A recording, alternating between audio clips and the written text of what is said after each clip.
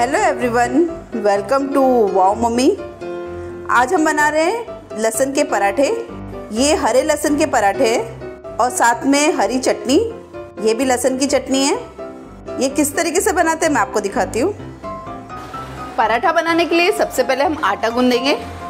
आटे में हम नमक डालेंगे। नमक को और आटे को हम अच्छे से मिक्स कर लेंगे। अब इसमें थोड़ा थोड़ा करके हम पानी डालेंगे।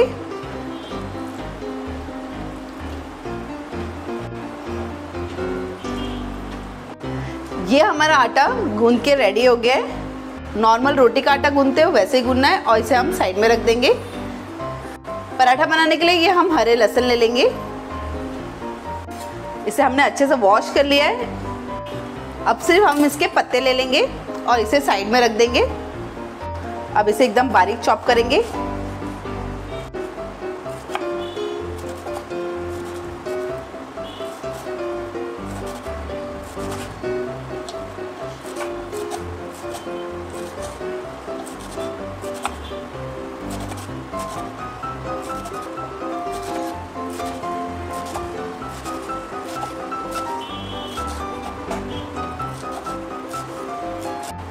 हम इस तरीके से लहसुन लहसुन के पत्ते काट लेंगे।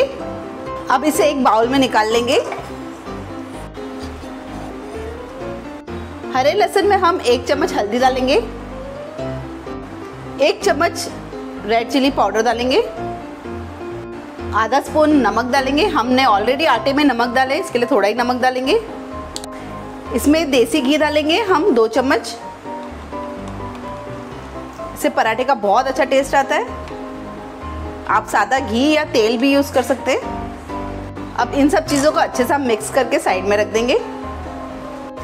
घी डालने के बाद भी हम इसमें थोड़ा तेल ऐड करेंगे। ये दो स्पून हमने, दो बड़े स्पून हमने तेल भी डाले, क्योंकि हमें इसे परत पे लगाना है। अब इसे अच्छे से मिक्स कर लेंगे। अब इसे साइड में रख देंगे हम थोड़ी देर के लिए। अब जो लहसन थे, उसमें से थोड़े लहसन हम ले लेंगे। इसके आगे का रूट हम निकाल लेंगे। थोड़ी हरी मिर्ची, थोड़ी कोतमीर और एक नींबू साथ में ग्राइंड करके हम चटनी बना लेंगे। पराठा बनाने के लिए हम एक आटे की लोई ले लेंगे। आप जैसा पराठा बनाते हैं उस हिसाब से लीजिए। ये हमने मैदा लिया है।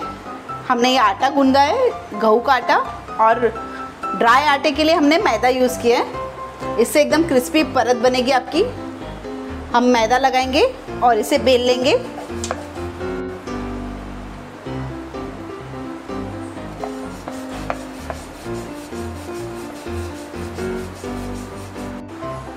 ये हमने बड़ी रोटी बेल ली है।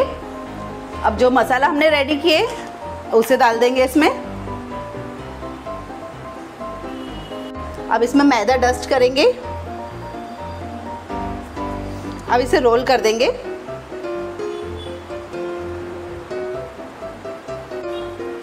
रोल करने के बाद हम इसे दबा लेंगे। अब इसे सेंटर से हम कट कर देंगे।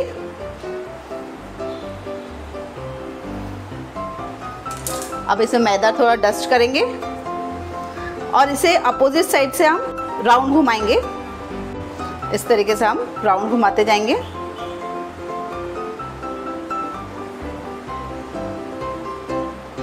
और इसे लास्ट में हम नीचे टक कर देंगे। अब इसे हम बेल लेंगे। इसके बहुत अच्छे लेयर्स निकलेंगे। और हर तरफ़ आपका मसाला जाएगा। आपको ज़्यादा क्वांटिटी में मसाला डालने की ज़रूरत नहीं है। अब इसे मैं आपको सेक के दिखाती हूँ। अब हम एक तवा रख लेंगे और उसमें हम हमारा पराठा डाल देंगे सेकने के लिए। अब इसे हम पलट देंगे।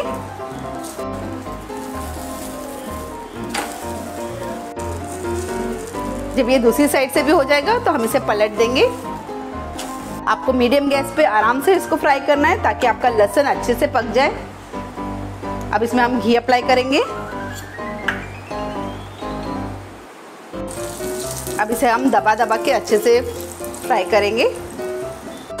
अब इसे हम पलट देंगे।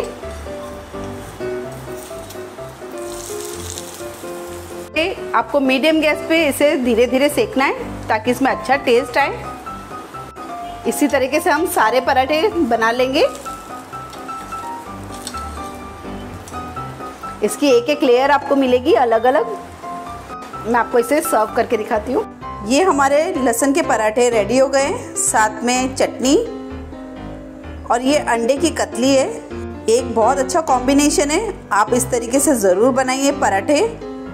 अगर आपको मेरी रेसिपी पसंद आती है तो इसे लाइक शेयर और सब्सक्राइब कीजिए। Thank you